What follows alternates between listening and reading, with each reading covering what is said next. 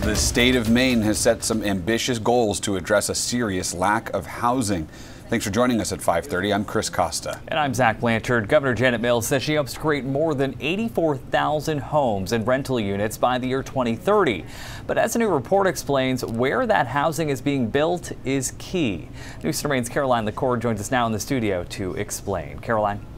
Zach, Chris, the state of uh, Maine housing production needs study has been released on a routine for the past couple of years for folks to get a better understanding as to where we are in terms of progress towards those goals you mentioned. While there have been great strides towards creating more housing stock, some counties are being left with little inventory.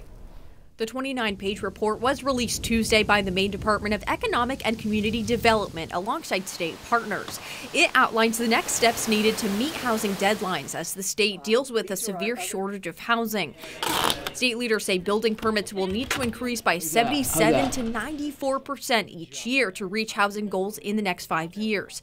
The report notes work needs to be done statewide, but Washington and Aroostook County stand out, with Washington needing a 1,200% jump in production between now and 2030. The report estimates that county will need between 21 and 2,300 units of housing.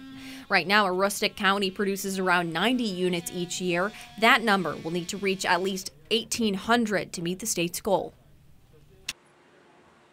This report also explains a couple of strategies to reach those production goals from breaking down cost barriers, supporting initiatives to increase the amount of workers in Maine's construction sector, to shifting local attitudes about affordable housing developments, something state leaders say has been delaying progress.